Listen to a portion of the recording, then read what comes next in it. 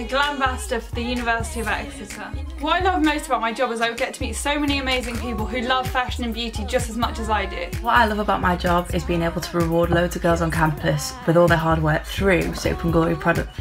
Each week, I have to give out a party pack to a group of social butterflies, hardworking girls, kick-ass girls, sporty girls, super girls, girls, girls, girls. It requires you to be creative. It requires you to put yourself out there, to challenge yourself.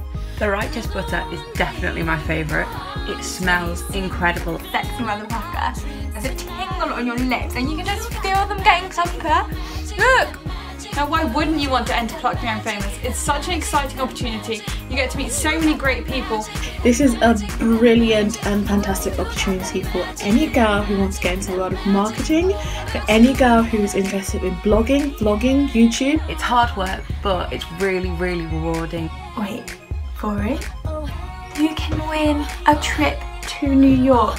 So if you're a student at one of the unis, you can apply by making a one minute video or a blog post explaining why you should be a GLAM ambassador and what makes your university amazing.